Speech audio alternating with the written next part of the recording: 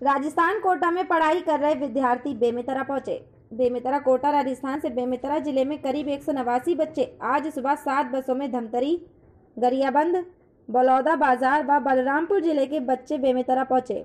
इस दौरान ये सभी बच्चे घर वापसी पर खुश देखे गए। इन बच्चों की पहले यहाँ स्क्रीनिंग कराई गई। इसके बाद वे सभी एक एकड़ क्वारंटाइन सेंटरों में भेजे गए। बताया गया कि बाकी करीब एक सौ नवासी बच्चों की बसें एक दो घंटे के अंतर में शाम, रात तक बेमित्रा पहुंचेंगी। प्रदेश के 2000 से अधिक बच्चे मेडिकल इंजीनियर आदि की पढ़ाई के लिए कोटा गए थे और वे सभी वहाँ लॉकडाउन में फंस गए थे। राज्य सरकार सत्तानवे बसें भेजकर उनके घर वापसी कराने में लगी है। बेमितरा के बच्चे दो क्वारंटाइन सेंटरों में रखे जा रहे हैं। ये क्वारंटाइन सेंटर शासकीय महाविद्यालय व अलायंस पब्लिक स्कूल बनाए गए हैं, जहाँ वे सभी चौदह दिन तक रखे जाएँगे।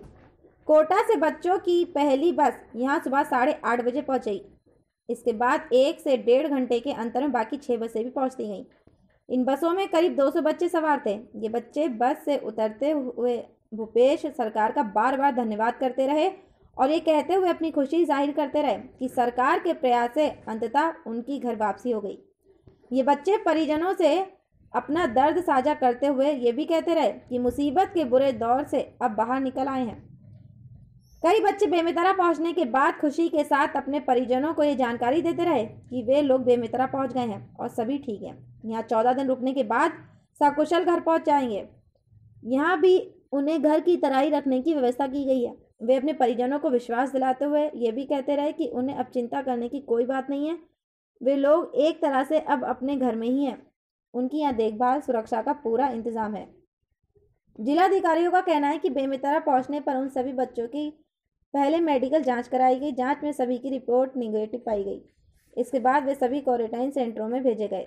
बच्चों को वहाँ पहले चाय नाश्ता कराया गया इसके बाद उनके खाने का इंतज़ाम किया गया। बच्चों के ठहरने की व्यवस्था भी इन्हीं दो सेंटरों में रहेगी। ये सभी बच्चे वापसी के बाद खुश हैं और वहाँ अपने परिवार वालों से वापसी की खबर साझा करने में लगे हैं। स्थिति और क्या व्यवस्था है यहाँ पर? यहाँ पर अभी 190 बच्चे आए हैं कुल मिलाकर जिसमें लगभग 110 गर्ल्स हैं और 80 बॉयज़ हैं। और ये आसपास के ज़िलों के बच्चे हैं। कुछ रायपुर के हैं, कुछ धमतरी के हैं, कुछ बलौदा बाज़ार के। हैं और इनके लिए हमने यहाँ पर एलॉन स्कूल में व्यवस्था कराई है। और 14 डेज़ का क्वारंटाइन जैसा कि निर्देश है, वैसे इनके लिए पूरी व्यवस्था कराई गई है। और सिक्योरिटी और तमाम चीज़ों का पूरा ध्यान रखा गया है।